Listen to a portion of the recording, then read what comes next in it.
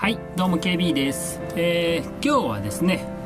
えーっと結構知られてないステージ上の暗黙のルールの話をちょっとしたいと思いますね。で今言いましたけど本当全然あの知られてない感じなんででその知られてないので誰かが教えたりとかもしないしでなんかそういうのがあのあまり広まってないっていう部分もあるのであのそこについてちょっと話をしておきたいと思いますね。で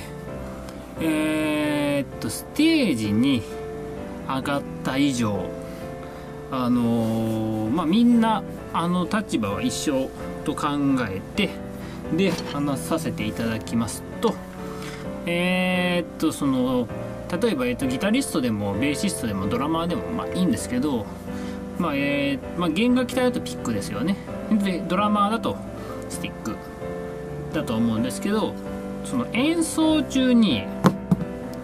落とすことっていうのはよくあると思うんですよ。でそれをこう拾って演奏することっていうのはあのーしたことある人はいるとは思うんですけどそれがあのステージに上がってる限りですと本来はアウトです。あのーピックとかスティックっていうのはもう一回そのステージ上のところではもう落とした時点でもうそのスティックやピックはもうあの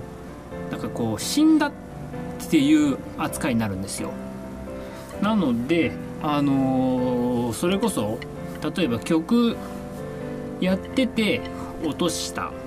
でえー、と違うスティック持って演奏し終わったと。で曲と曲の間のその MC とかの時にこう拾うっていうのもアウトです。なのであのーもうステージに上がってもうバーンってスタートしてから終わるまでっていうのはもう落としたスティックっていうのは拾ってはいけないんですよ。ましてや自分ではもう絶対ですね。でそれこそあのそうですねえーっと例えば対バン形式だったらもう本編終わって片付けをする時とかだったらまだ拾っても全然いいとは思いますし、うん、だからそこであとワンマンの場合ですと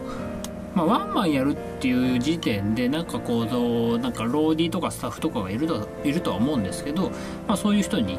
こう拾ってもらうとか片付けてもらうとかっていう感じにしてもらった方がいいですね。なのでそのメジャーとかでいろいろこうやってるあのプロの人とかの演奏とかでもしスティックをあの落としてる映像とかがあったら見てもらうと分かるんですけどあの拾ってないはずです。なのでそこはあのステージに上がる人としては気をつけておきたいとこですね。でえーっとそうなってくると当然のことながら予備が必要になってきます。なのであの例えばギタリストとかだったらピックが1枚とかあの、まあ、ドラマーだと,、えーっとワンペアのスティックっていうわけではなくあの落としてもいいように あのいくつか準備しとくってっていうのも大事なことだと思いますね。以上です。